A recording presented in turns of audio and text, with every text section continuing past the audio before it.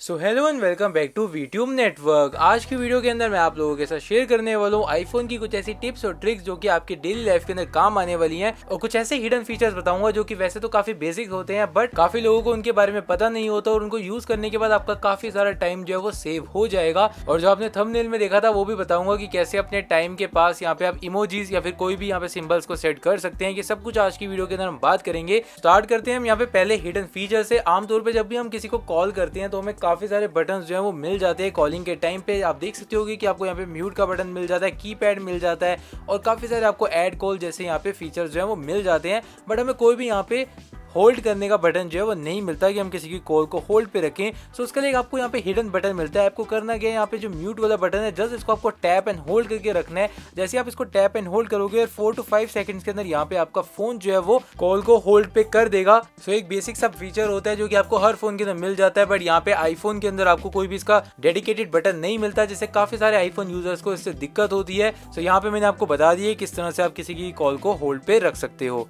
Next feature भी यहाँ पे कॉलिंग से जुड़ा हुआ है। आपको पता होगा कि जब भी आपको किसी की कॉल आती है, आपका फ़ोन जो है वो लॉक होता है तो यहाँ पे आपको कोई भी फ़ोन को जो है कट करने का ऑप्शन नहीं मिलता है। यहाँ पे कॉल डिक्लाइन का कोई भी ऑप्शन नहीं मिलता है। रिमाइंड मी का और मैसेज के साथ साथ स्लाइड टू आंसर का यहाँ पे ऑप्शन मिल जाता है। बट काफ़ी लोग यही पूछते हैं कि इस कॉल को डिक्लाइन कैसे करें? तो सिंपली आपको करना है अपने पावर बटन को डबल प्रेस करना है और यहाँ पे कॉल जो है वो डिक्लाइन हो चुकी है। तो ये भी एक हिडन फीचर है। इसके अंदर आपको कोई भी डेडिकेटेड बटन नहीं मिलता। सिंपली क्या करना है? डबल प्रेस करना है। अपने पावर बटन को कॉल डिक्लाइन हो जाएगी। अगर आप सिंपल प्रेस करते हैं यहाँ पे एक ही बार में तो आपकी फ़ोन कॉल जो है वो यहाँ पे म्यूट हो जाएगी और उसके लिए आप वॉल्यूम रोकर कीज को भी यहाँ पे यूज़ कर सकते हैं। सिर्फ़ आप एक बार प्रेस करेंगे तो यहाँ पे कॉल रिंगटोन जो है वो म्यूट हो जाएगी।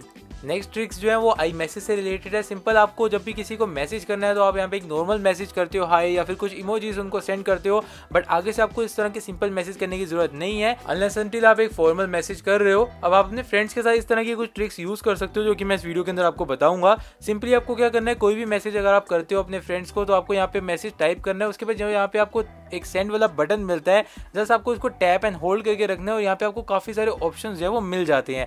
यहाँ पे आप देख सकते हो कि आपको काफ़ी सारे मैसेज मिल रहे होंगे इनविजिबल लिंक हो गया जेंटल हो गया लाउड स्लैम इस तरह के आप मैसेजेस जो है अपने फ्रेंड्स को सेंड कर सकते हो, जिसके अंदर आपको एक एनिमेशन प्रोवाइड करता है। ये मैसेज जब सेंड होता है तो एक अलग से आपको एक मैसेज जो है एनिमेटेड होकर वो सेंड होगा। और इसी के साथ अगर आप ऊपर यहाँ पे स्क्रीन वाले बटन को टैप करोगे तो आपको यहाँ पे काफ़ी सारे ऑप्शन मिल जाते हैं, जो कि फुल स्क्रीन के ऊपर आपके मैसेज सेंड करते हैं।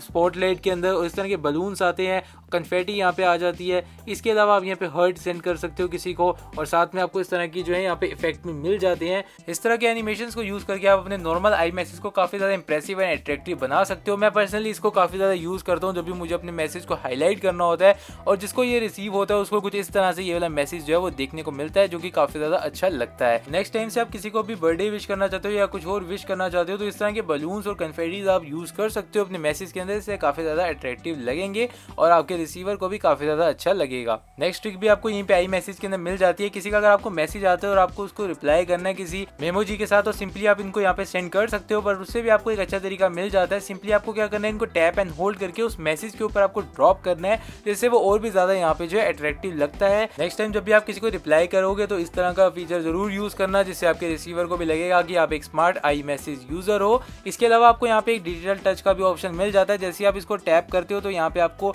एक डिजिटल जो है टच मिल जाता है। जैसे आप इसके अंदर एक सिंगल टैप एंड होल्ड करके रखते हो तो एक फायर बॉल आप किसी को स्टेंड कर सकते हो। इसके अलावा अगर आप इसके अंदर डबल टैप एंड होल्ड रखते हो तो यहाँ पे किसी को आप अपनी हर्ट बीट इस तरह से भेज सकते हो। और इसी के अंदर डबल टैप एंड होल्ड के अंदर आप ड्रॉप डाउन कर देते हो। तो एक ब्रोकन हर्ट भी किसी को आप सेंड कर सकते हो। और इसके अलावा आपको यहाँ पे काफ़ी अच्छे अच्छे ग्राफ्टी के ऑप्शन मिल जाते हैं। आप कुछ भी यहाँ पे ड्रॉ करके किसी को सेंड कर सकते हो, जो भी आप यहाँ पे करना चाहते हो। काफ़ी सारे यहाँ पे आपको कलर ऑप्शन भी मिल जाते हैं। और कुछ भी क्रिएटिव आप यहाँ पे ड्रॉ करके आई मैसेज में सेंड कर सकते हो। नेक्स्ट ट्रिक भी आपको यहाँ पे काफ़ी ज़्यादा अच्छी लगने वाली है। आई मैसेज के अंदर ही आपको एक और ऑप्शन मिल जाता है। जैसे आप अपने फ़ोन को लैंडस्केप मोड पे करते हो तो यहाँ पे आपको नीचे की तरफ़ एक हैंड राइटिंग मैसेज सेंड करने का ऑप्शन मिल जाता है। जैसे आप इसको टैप करोगे तो आपको यहाँ पे काफ़ी सारे जो है, पहले से भी एक टाइप हुए हुए मिल जाते हैं। हेलो हो गया थैंक यू कॉन्ग्रेचुलेशन ऐसे ऐसे मैसेजेस आपको जो है हैंड रिटर्न नोट्स के अंदर मिल जाते हैं। इसके अलावा आप कुछ भी यहाँ पे टाइप करना चाहते हो तो खुद भी यहाँ पे टाइप करके सेंड कर सकते हो, जिससे कि काफ़ी अच्छा पर्सनल हैंड रिटर्न नोट की तरह किसी को मैसेज सेंड करोगे तो उनको भी अच्छा लगेगा। सो अभी तक वीडियो अच्छी लगी हो तो फटाफट से वीडियो को लाइक कर दो चैनल को सब्सक्राइब कर दो। नेक्स्ट जो मैं आपको टिप्स एंड ट्रिक्स बताने वाला हूँ बेसिकली कुछ शॉर्टकट्स हैं जो कि हमारे कंट्रोल सेंटर के अंदर अवेलेबल होते हैं बट उनके बारे में पता नहीं होता।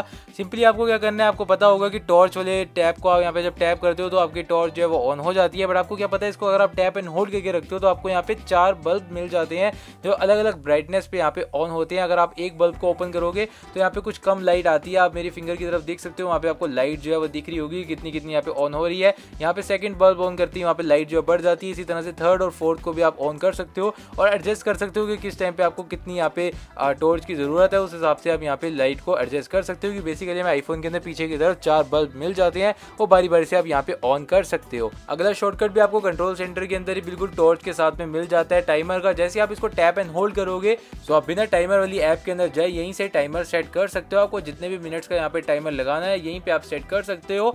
सो आपको ऐप ओपन करने की भी यहाँ पे ज़रूरत नहीं पड़ती, यहीं पे सब कुछ कंट्रोल हो जाता है स्टार्ट हो जाता है पॉज हो जाता है और यहीं से रिज्यूम भी हो जाता है। ऐप के अंदर भी आप देख सकते हो वही सब कुछ चल रहा होता है जो कि आप यहीं से कंट्रोल कर सकते हो और इससे भी आपका टाइम जो है वो सेव हो जाएगा। इसके बाद जो मैं आपको यहाँ पे ट्रिक बताने जा रहा हूँ, वो भी आपके लिए काफ़ी ज़्यादा टाइम सेविंग रहने वाली है। आपको पता होगा कि कोई भी वेबसाइट को या फिर फेसबुक इंस्टाग्राम को काफ़ी ज़्यादा स्क्रोल स्क्रोल करते रहते हो और नीचे की तरफ़ पहुँच जाते हो बट आपको एकदम से ऊपर की तरफ़ पहुँचना होता है तो उसके लिए भी आपको यहाँ पे एक शॉर्टकट मिल जाता है। आपको करना है क्या बेसिकली या तो आप यहाँ पे टाइम को टच कर सकते हो या फिर दूसरी तरफ़ जो यहाँ पे सिग्नल बैटरी का आता है मतलब टॉप ऑफ़ द आईफोन के ऊपर आपको यहाँ पे क्लिक करना है और आप टॉप ऑफ़ द स्क्रीन के ऊपर पहुँच जाओगे। जितना मर्ज़ी आप स्क्रॉल करके नीचे की तरफ़ पहुँच चुके हो जस्ट आपको ऊपर की तरफ़ टैप करना है और आप टॉप पे पहुँच जाओगे। इसके बाद नेक्स्ट ट्रिक भी मैं आपको बता देता हूँ, जैसे कि आप कोई भी ऐप को बंद करते हो, इस तरह से एक एक सिंगल सिंगल ऐप को किल करते हो तो इसके अंदर भी काफ़ी सारी ऐप्स अगर पीछे की तरफ़ ओपन हो तो इसको आप जल्दी से यहाँ पे क्लोज कर सकते हो। आपको सिंपली क्या करना है, आप टू फिंगर्स थ्री फिंगर्स और फोर फिंगर से भी यहाँ पे इनको बंद कर सकते हो। जितनी भी फिंगर से आप करोगे, उतनी एप्स यहाँ पे क्लोज हो जाएँगे। यहाँ पे मैंने थ्री फिंगर से किया था और एट एप्स पीछे ओपन थी तो तीन बार के अंदर ही मैंने सारी एप्स को बंद कर दिया। नेक्स्ट टिप जो है वो एकदम बेसिक है, पर मैंने देखा है काफ़ी सारे लोगों को इसके बारे में पता नहीं होता। ये टिप बेसिकली वॉलपेपर से रिलेटेड है। कई बार ऐसा होता है कि हम किसी फ़ोटो को लैंडस्केप मोड के अंदर क्लिक कर लेते हैं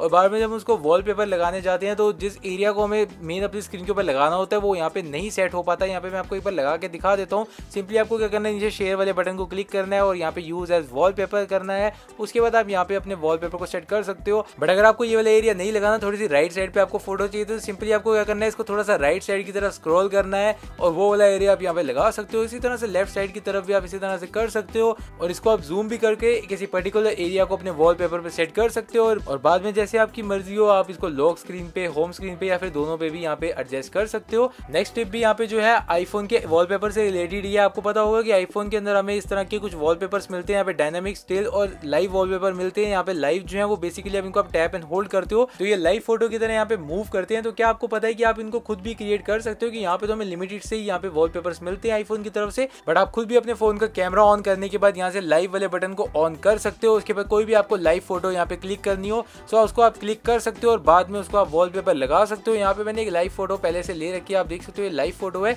जो टैप एंड होल्ड करके यहाँ पे मूव करती है। तो इसी तरह से आप अपनी खुद की लाइव फ़ोटोज़ या अपने फैमिली मेंबर्स की, किसी की भी आप यहाँ पे लगाना चाहते हो लाइव फ़ोटो तो सिंपली जैसा कि मैंने बताया था कि आप वॉलपेपर जैसे सेट करते हो, वैसे आप इसको सेट कर सकते हो एडजस्ट भी कर सकते हो अपने अकॉर्डिंग और बाद में आपको नीचे जो लाइव वाला बटन है, इसको बस ऑन करके रखना है। जैसे ये ऑन होगा, उसके बाद आप इसको सेट करोगे तो आपके लॉक स्क्रीन के ऊपर एक लाइव फ़ोटो वाला वॉलपेपर लग जाएगा और नेक्स्ट टाइम आप इसको जब भी टैप एंड होल्ड करोगे तो यहाँ पे एक आपका लाइव वॉलपेपर क्रिएट हो चुका है और आप इसको एंजॉय कर सकते हो। नेक्स्ट टिप जो है, वो म्यूज़िक से रिलेटेड है। काफ़ी बार ऐसा होता है कि हम चाहते हैं कि हम जब सॉन्ग्स को सुन रहे होते हैं दस से पंद्रह मिनट बाद जो सॉन्ग्स है, वो बंद हो जाए तो उसके लिए आपको यहाँ पे एक ऑप्शन मिल जाता है। आप वो एप्पल म्यूज़िक और थर्ड पार्टी एप्स के लिए भी यूज़ कर सकते हो। बेसिकली आपको क्या करना है, जैसे कि मैंने आपको थोड़ी देर पहले बताया था, एक टाइमर ऐप है। वहाँ पे आपको एक ऑप्शन मिल जाता है टाइमर ऐप के अंदर वेन टाइमर एंड जैसे आप इसको क्लिक करोगे तो आपको सबसे नीचे की तरफ़ एक ऑप्शन मिल जाता है, जहाँ पे आपको वो लिखा हुआ मिलेगा स्टॉप प्लेइंग और इसको आप सिलेक्ट करने के बाद यहाँ पे टाइम को भी सेट कर सकते हो और इसको स्टार्ट कर सकते हो। और जितने भी मिनट आप स्टार्ट यहाँ पे कर दोगे, उतने मिनट बाद आपका जो सॉन्ग है, वो यहाँ पे बंद हो जाएगा। यहाँ पे मैं टाइम को आगे करके दिखा देता हूँ।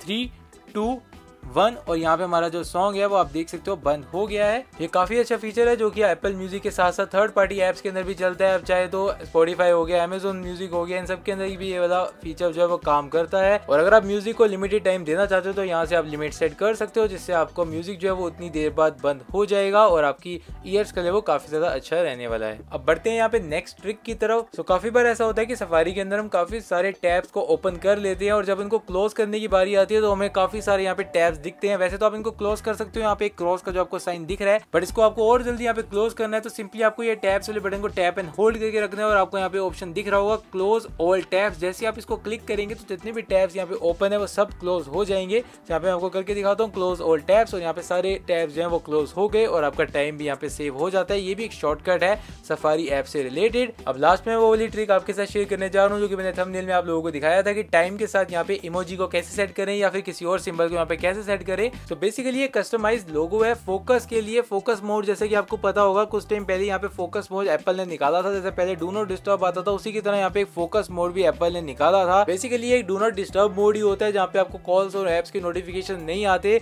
और इसके अंदर आपको हेल्प मिलती है कि आपके जो भी एक गोल है, उसके ऊपर आप फोकस कर सकते हो। काफ़ी सारे आपको यहाँ पे फोकस के अंदर जो है ऑप्शन मिल जाते हैं। फिटनेस से रिलेटेड स्टडी से रिलेटेड काफ़ी सारे यहाँ पे आपको ऑप्शन मिल जाते हैं। किसी को भी आप यहाँ पे टर्न ऑन कर सकते हो। और इसके अलावा आपको यहाँ पे कस्टम का भी ऑप्शन मिल जाता है जहाँ पे आप खुद का एक फोकस मोड को क्रिएट कर सकते हो, जैसे कि मैंने किया हुआ माई टाइम का। तो जस्ट आपको यहाँ पे कस्टम पे क्लिक करना है, उसके बाद आप यहाँ पे कोई भी जो लोगो है उसको सेट कर सकते हो या सिंबल को यहाँ पे सेट कर सकते हो यहाँ पे आपको डिफ़ॉल्ट के अंदर यहाँ पे एक स्माइली मिलता है, जिसका आप यहाँ पे ऊपर की तरफ़ से कलर्स को भी चेंज कर सकते हो। और नीचे की तरफ़ आपको काफ़ी सारे सिंबल्स मिल जाते हैं, जिनको आप यहाँ पे सेट कर सकते हो। सबसे ऊपर ही आपको स्माइली मिलता है। इसके अलावा आप देख सकते हो काफ़ी सारे यहाँ पे आपको सिंबल्स मिलते हैं, उनके कलर्स भी आप चेंज कर सकते हो। एंड उसको आप यहाँ पे सेट कर सकते हो एक कस्टम फोकस मोड के लिए, और यहाँ पे आपको नाम भी कुछ लिख सकते हो, उसका कुछ भी आप नेम यहाँ पे सेट कर सकते हो। जैसे कि मैंने एक फ्रेंड्स टाइम का यहाँ पे एक फोकस जो है नया क्रिएट कर लिया है। सिंपली आप इसको, इसके बाद क्या करना है, यहाँ पे नेक्स्ट करना है। और उसके बाद अंदर आपको काफ़ी सारे ऑप्शन मिल जाते हैं, जहाँ पे अगर आप चाहते हो कि किसी कॉल्स के नोटिफिकेशन आपको आए तो आप यहाँ पे इसको ऐड कर सकते हो।